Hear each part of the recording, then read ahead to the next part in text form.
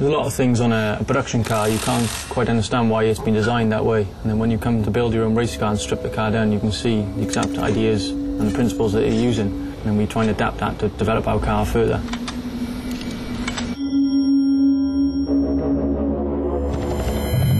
Trying to develop a car that was designed for everyday driving at 70 miles an hour motorway, and we're trying to design it to do 140 miles an hour.